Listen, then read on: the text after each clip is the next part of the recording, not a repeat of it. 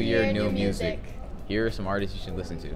If you listen to Erykah Badu, you should listen to Lauryn Hill, and Jill Scott, and Nia Andrews. If you like Taylor Swift, listen to Sabrina Carpenter, Lana Del Rey, and Gracie Abrams. If you listen to Drake, you should listen to J. Cole, Bryson Tiller, and Future. You can't go wrong with these recommendations.